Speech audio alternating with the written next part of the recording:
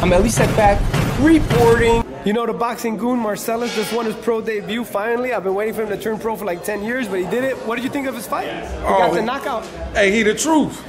He the truth. He said he was gonna do it, and he did it. Marcellus always keeps it 100. Yeah, He's the he- most honest person I know in boxing. I mean, I, I think he's the honest dude in the world. You know, great brother, and uh, he he said he was gonna do it, and he did it. Okay, him against Anthony Joshua. Do you want to see that fight? I would love to see that fight.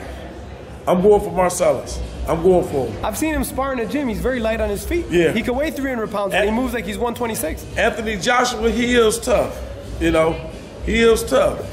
Now, Carl, Yeah. we, we talked a second ago about fighters who talk a lot of smack. Right. Tyson Fury talks crazy smack. Yeah. Beat Klitschko.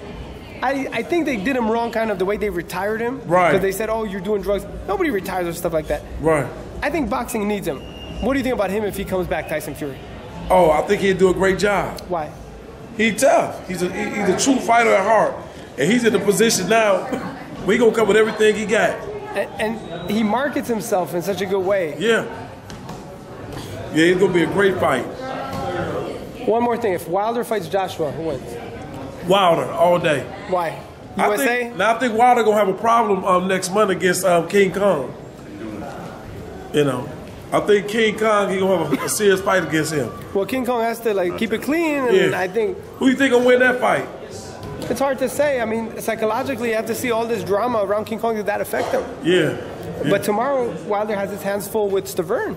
yeah. You know Br- Br- Bermane. Yeah. You've seen him in the gym. Yeah, yeah, but I'm a, I'm a roll with um. I, I think King Kong is the next big thing in, in heavyweight. Hopefully, man. I just Yeah. want to see him fight, but he can't Yeah. be doing you know stuff he's not supposed to. That's right. That's right. All right, there you have. Anything to tell Marcel if he's if he's watching? Congratulations, my brother. Keep the good work up. All glory to God in Jesus' name. There you have it. Stay tuned. FeastReport.com. Back reporting. Reporting. Turn up the volume and just sit back. You rockin' with the best. Ellie sat back. The wave of the future. We don't lose.